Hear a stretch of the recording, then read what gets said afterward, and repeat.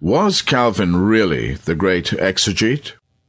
Calvin's arguments reflect a bias in favor of the sacramentalism he learned as a Roman Catholic from Augustine, which he elaborated upon and thereafter was compelled to defend.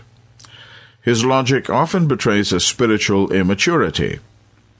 Incredibly, Calvin argued, such in the present day are our Catabaptists, who deny that we are duly baptized because we were baptized in the papacy by wicked men and idolaters.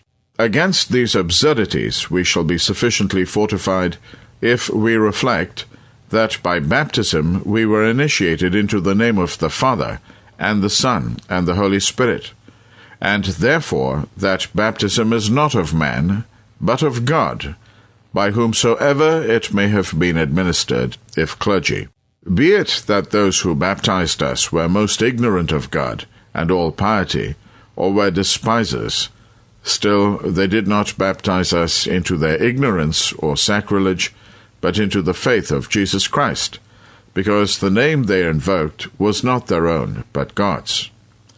But if baptism were of God, it certainly included in it the promise of forgiveness of sin, mortification of the flesh, quickening of the Spirit, and communion with Christ. In Calvinism, the physical act of baptism has spiritual power and imparts regeneration. To be baptized by Roman Catholic priests who were not even Christians, but promoted a false gospel, was acceptable to Calvin because they used the name of God when they administered it. Even to be baptized by despisers of Christ and God would bring the promise of forgiveness of sin, so long as they were part of the ministerial office. Incredibly, though a major figure in the Protestant Reformation, Calvin honored Rome's corrupt and unsaved priests as God's ministers. Yet he condemned and persecuted those who came out of that Antichrist system through faith in Christ, for being subsequently baptized as believers according to God's holy word. Calvin taught that only the clergy, whether Roman Catholic or Protestant, could baptize or administer the Lord's Supper. It is improper for private individuals to take upon themselves the administration of baptism, for it, as well as the dispensation of the supper, is part of the ministerial office. For Christ did not give command to any man or woman whatever to baptize, but to those he had appointed apostles.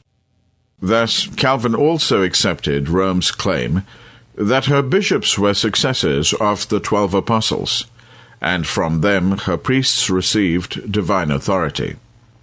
And he was a leader of the Reformation? Contrary to what Calvin taught about an exclusive ministerial office, our Lord Jesus Christ clearly commanded the original disciples to make disciples and to teach every disciple they won to him through the gospel, to observe all things whatsoever I have commanded you. Matthew chapter 28, verse 20.